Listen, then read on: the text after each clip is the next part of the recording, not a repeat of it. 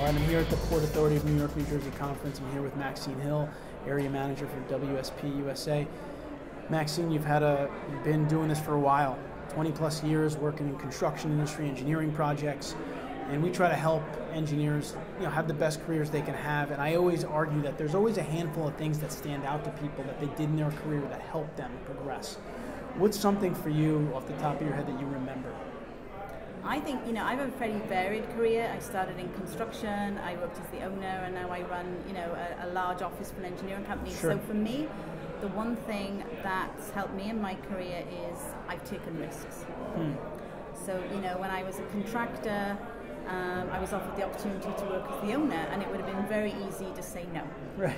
You know, and but I did it, and and and you know, and then I went and worked for an engineering company, and then six years ago, I was offered the opportunity to move here to New York, Right.